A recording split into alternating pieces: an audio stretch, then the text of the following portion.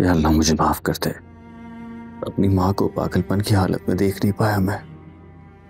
और अंधे इंतकाम में मैंने ये कर दिया। मेरे हाथ दो बेगुनाहों के खून से रंग गए। मैंने कोई तहकीक नहीं की मेरे अल्लाह। कोई तहकीक नहीं की और इतना बड़ा जुल्म कर दिया। मुझे माफ़ कर दे। नानूर। मैं तुम्हें कैसे समझाऊं कि मैं कितना गुनाहगार हूँ? तुम्हारा गुनाहगार हूँ, तुम्हारी माँ का गुनाहगार हूँ, आलियान का गुनाहगार हूँ, मात का गुनाहगार हूँ। मैंने ना सिर्फ़ तुम सबकी ज़िंदगी, बल्कि खुद को भी बर्बाद कर दिया। मैंने जिन लोगों का घर जोड़ा, वो तो मर गए, और क्या पता जन्नत में भी हो। लेकिन मैं मैं तो यहाँ भी दो में रह रहा हूँ। और जब मैं मरूँगा, जब मेरी साँसें रुकेंगी, तब भी मेरा ठिकाना जहन्नुम होगी। लेकिन मैं ठीक होना चाहता हूँ। मैं ठीक होना चाहता हूँ, मैं ठीक होऊँगा। खुद को सजा देने के लिए तुम्हारी दी गई हर सजा का मुस्तक हूँ मैं।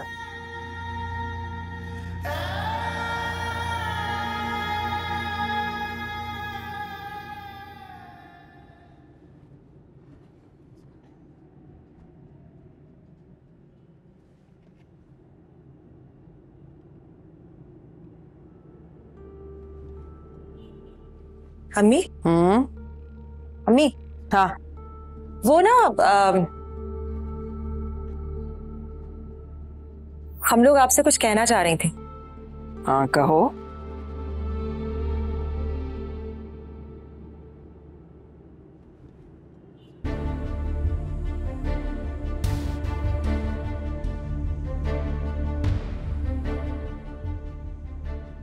क्या बात है? इतनी मुश्किल बात है जिसे कहने में इतना वक्त लग रहा है। बोलो। अम्मी अगर हम आपसे एक बात करें तो आप खफा तो नहीं होंगी? नहीं बेटा मैंने तुम लोगों को हमेशा हर बात कहने की आज़ादी दी है। कहो जो भी कहना है। हम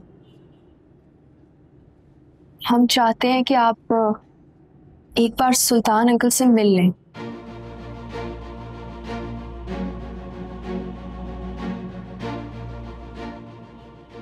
मैं ना मानूर से अग्री करती हूँ। आपको एक दफ़ा उनसे मिल लेना चाहिए।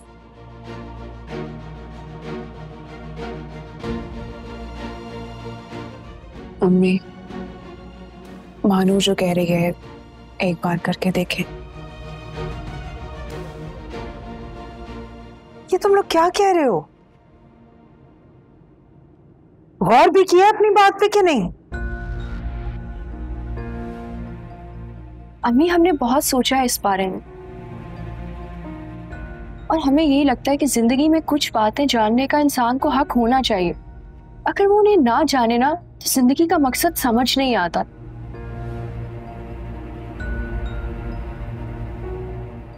अम्मी, मैं जानती हूँ कि सुल्तान अंकल से गलती हुई है। लेकिन आप एक बार उनसे मिल लें, उनकी बात सुन लें। हो सकता है कि आप दोनों के दिल का बोझ हल्का हो जाए। एक बार करके देखें, अम्मी। कोशिश करके देखें। प्लीज़।